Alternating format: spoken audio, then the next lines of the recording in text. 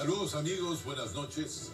Finalmente el Consejo Administrativo de la Legislatura tiene una nueva mayoría y de oposición.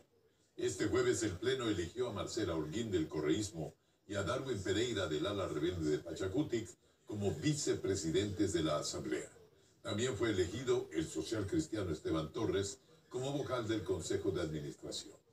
Patricio Díaz nos cuenta cómo se configuró este nuevo cuadro de autoridades legislativas. Era lo planificado. Todo empezó con Pavel Muñoz del correísmo, quien mocionó a su coidearia Marcela Holguín como candidata a la primera vicepresidencia de la Asamblea. Obtuvo 90 votos. De UNES, Pachacuti, con algunas excepciones, el Partido Social Cristiano, los disidentes de Izquierda Democrática y varios independientes. Por Dios, por mi patria, por mis hijos y por mi bancada, sí juro. Un despliegue de fotógrafos siguieron a Holguín, quien se convierte así en la segunda autoridad de la Asamblea y el reemplazo inmediato del presidente Virgilio Saquicela en caso de ausencia. Cuenten con nosotros para exigir no solamente transparencia, sino también verdad. No habrá impunidad. Luego Patricia Sánchez, del ala rebelde de Pachacuti, mocionó a su coideario Darwin Pereira para la segunda vicepresidencia. Tuvo 93 votos a favor.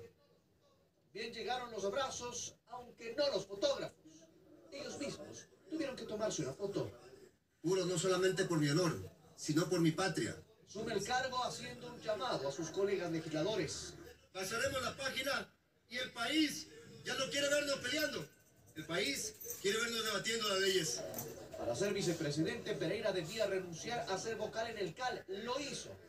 Y para esa vacante, Natalie Viteri mocionó a su coideario social cristiano Esteban Torres. El legislador obtuvo 117 votos. Recibió el respaldo incluso de Creo. Y sí, en función de un tema, lo que es ideológico, hemos decidido respaldar al, al Partido Social Cristiano para que tenga ese espacio en el CAL. Juro por mi honor Torres pidió, por ejemplo, trabajar de inmediato por leyes represadas. teniendo las diferencias que tengamos siempre, pero respetando a quien está a nuestro lado en la curva. Y así en casi dos meses las fuerzas en el CAL cambiaron.